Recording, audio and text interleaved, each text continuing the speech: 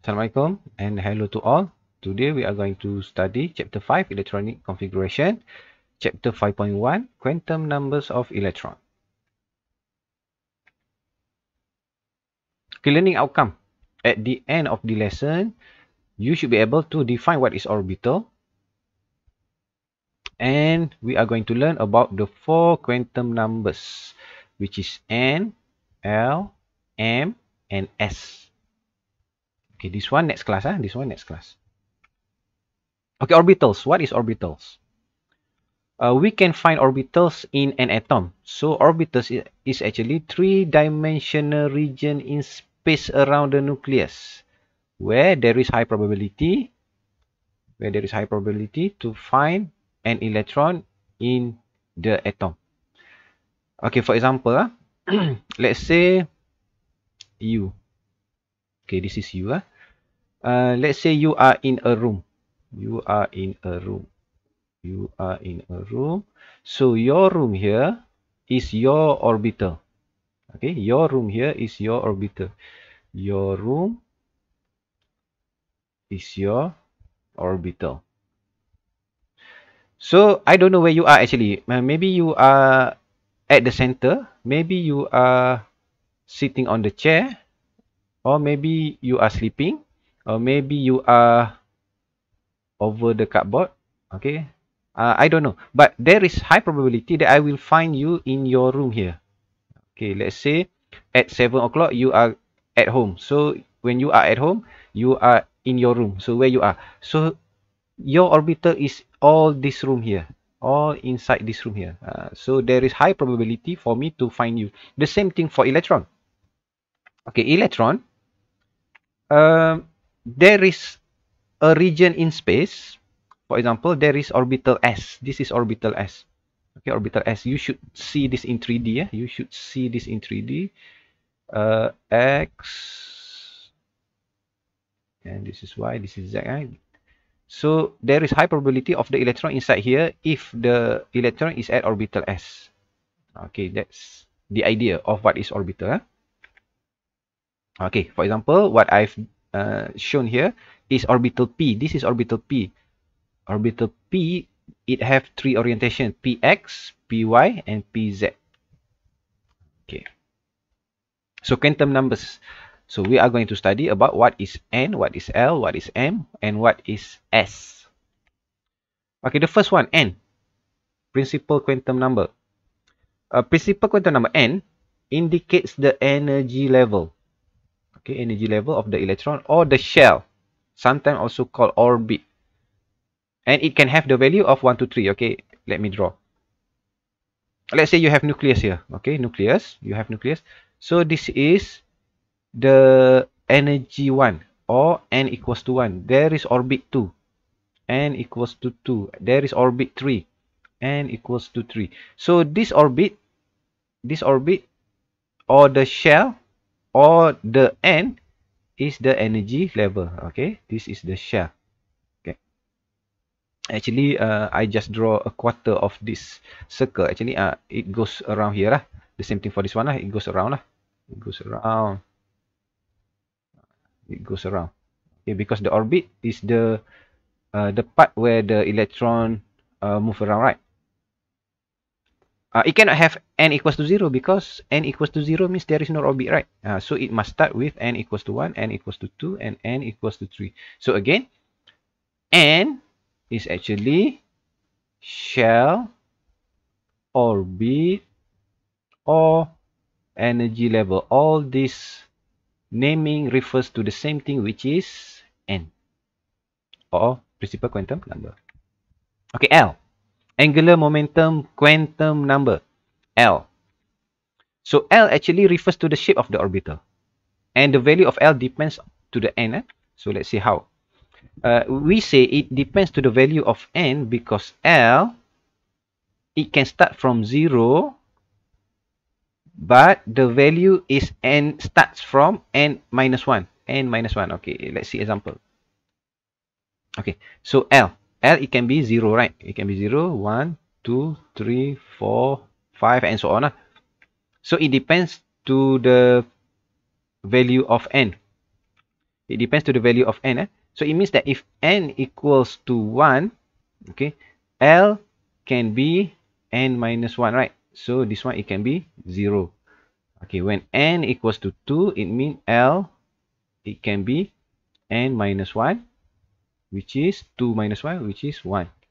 Okay, but L, L can be lower than n minus 1. It means that even though when n equals to 2, you have L equals to 1, actually when n equals to 2, you also have L equals to 0 and 1. But it cannot be 2. Uh, this one cannot lah. Uh, it can be lower than n equals to 1. So when n equals to 2, the, the possible number is L equals to 0 and 1. Okay, name of the orbital. Remember, L is the shape of orbital. Okay. L is the shape of the orbital. So when L equals to 0, the shape of the orbital is S. S, the shape is actually spherical. Okay, S is spherical. Like the one I draw earlier. So it is spherical on the axis X, Y, Z. X, Y. P is pointed. Pointed. So it can be like this. P, Y. like this on the axis x, px, or at the axis z. Okay, z. So this one will be pz. Okay. Uh, so p is this shape. Okay, p is this shape. And s is the spherical shape. Huh? Okay, so s refers to a specific shape. P refers to a specific shape. D also refers to specific shape. The same thing with F, G, and H. But our syllabus only learn about SPD only. So we are going to study about SPD only. Eh? Okay. M, magnetic quantum numbers. This one is it describe about orientation of the orbital in space or the number of orbital orientation. Eh? So how many orbital orientation are there? Okay, for example, when L equals to 1, okay, when L equals to 1, you should write down your M equal to negative 1, 0, positive 1. Okay, like this one. Ah.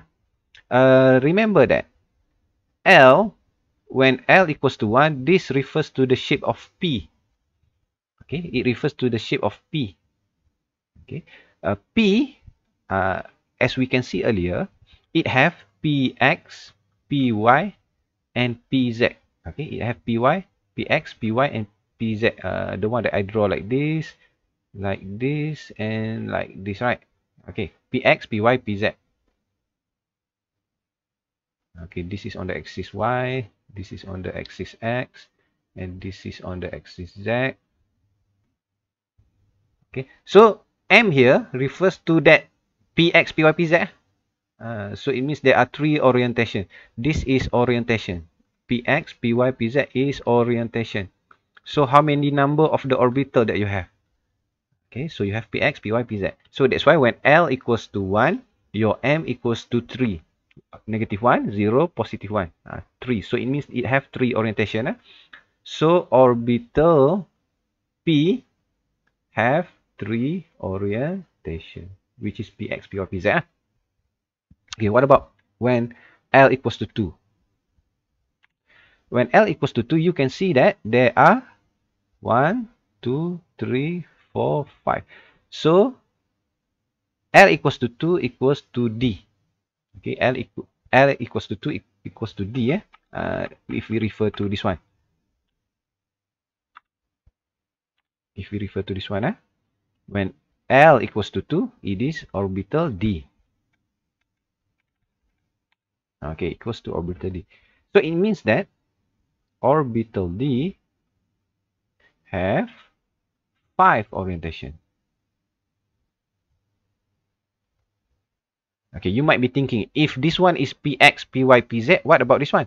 Okay, this one, it will be dxy, dyz, dz square dx square y square and one more dxz okay so one two three four five. Uh, so all this refers to five orientation. What is the shape if you were thinking about this one orbital d? What is the shape?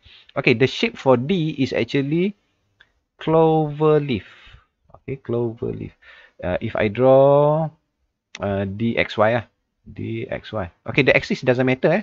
whether you want to put x here or x there as long as your drawing is correct okay so clover leaf. So it will be like this. Okay so this is for dxy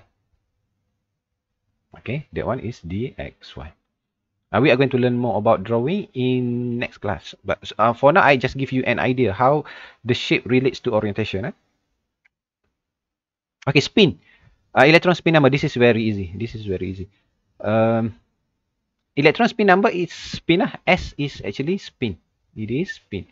And the number can be positive 1 and negative a, posit a positive half and negative half. Uh, this is a value uh, this is not a value this is just orientation. Because uh, if I draw this let's say orbital s it can spin like this. Okay it can spin like this. Uh, we can say this one is positive half if it spins on the other way let's say it spins like this we can say it is negative half. But the number negative half and positive half does, does not give you a value. It just show where is the spin. Clockwise or counterclockwise uh, for the electron. Okay? That's why it is called electron spin number. Uh, this is actually important when we are going to write down the SPDF notation uh, orbital diagram. Uh, usually it is given like this huh? so this one the arrow like this shows a positive half. And sometimes the arrow shown like this is negative half uh, if this one is positive half this one is negative half. But it does not always like this. It means that if you have one electron uh, positive half the other one must be negative half. What i mean is that it can also be like this. Uh, this one okay, sorry can be negative half if this one is already negative half the other electron must be positive half. Okay? Uh, so the the arrow pointing upwards does not always show it is positive half. Does not always show it is positive half. But it can be positive half. If this one is positive half this the other one must be negative. Uh, the same thing for this one eh? if the arrow pointing upwards is negative half the other one must be positive half. Okay uh, so it does not always refer to arrow pointing outward is positive half no. Okay it can be either one. Uh, if it is like this if i draw like this only one electron in uh, in orbital diagram here. Uh, so is it positive half or negative half? It can be both. Okay it can be either one not both. It can be either one. It can be negative half or this one can also be positive half. It can be either one. But not both huh? it can be either one. But if this one if negative half uh, the other one when you are going to put more electron in it uh, this one will be if this one you choose negative half this one will be positive half. Okay? Uh, so that is about the spin.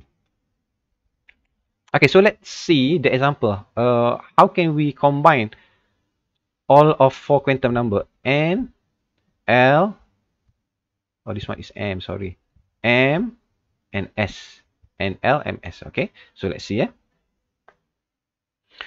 Okay so when you have one okay n1 n1 n equals to 1 it should be small n eh? not big n here. N equals to 1 so your l your l by the formula of maximum n minus 1 so 1 minus 1 is 0 can you have lower number than this one uh, no but maximum number is 0 because l cannot be larger than 1 what i mean is that L cannot be equal to N. Okay, it cannot be equal to N. So 0. Subshell designation. When L equals to 0, when L equals to 0, when L equals to 0, it means the orbital shape, okay, the shape of orbital is S. So this one will be 1S. it means the orbital s is at the orbit 1 magnetic quantum number? Okay remember when l equals to 1 your magnetic quantum number will be negative 1 0 positive 1 right? Okay so you just write down negative 1 0 positive 1 electron spin number? Uh, it can be positive half and also negative half. Uh, it always be this number. Number of, of number of orbital in subshell. Okay. In one orbital in one orbital in one subshell you can only put maximum two electron only. So inside here for when n equals to 1 you can only have orbital s and orbital s. Oh sorry. Oh sorry sorry sorry this one is orbital s. Okay sorry sorry. Eh this one is correct. Okay sorry. Okay this is orbital s. L equals to 0 when l equals to 0 you can only get m equals to 0 okay so magnetic quantum number is 0 okay means that you have only one orientation. So this one you can only have maximum number of orbital in in in subshell is 1 only one. Number of electron okay what i uh, explained earlier 2 2 electron. In one subshell in one orbital you can only have 2 electron okay? In one orbital subshell. Uh, based on the magnetic quantum number lah means that you only have one orientation right? So it means you only have one orbital. So 2 electron. So when n equals to 2 when n equals to 2 you can have L equal to n minus 1 so it means it can be 1 this is the maximum number but you can also have lower than that which is 0 so subshell designation this one will be 2s okay? It means that you have orbital s in orbit 2 and this one you will have when L equals to 1 when L equals to 1 it is P. So this one you get 2P magnetic quantum number okay when l equals to 0 this one refer to this one. Refer to this one. So 0 when l equals to 1 because it is p you get negative 1 0 positive 1 okay. Uh, so electron spin number the same. Negative half. And this one the same thing. This one you just follow. How many electron maximum you can get in orbital s because it only have one orientation magnetic quantum number is 1 uh, what i mean 1 here is there is only one possible number there which is 0 uh, 1 there, there is one orientation uh. so how many orbital in subshell 1 how many electron? Uh, actually you have two electron here. Okay but you are going to plus with uh, we need to calculate this one.